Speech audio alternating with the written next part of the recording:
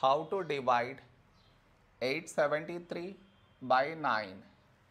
See, here we have 8, here 9.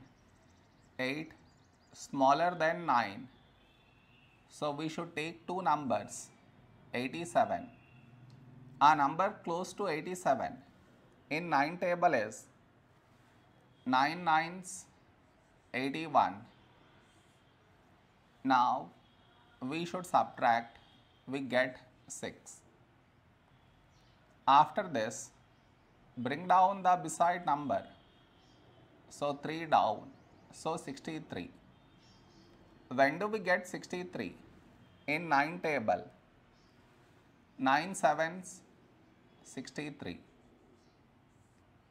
Now we subtract, we get 0.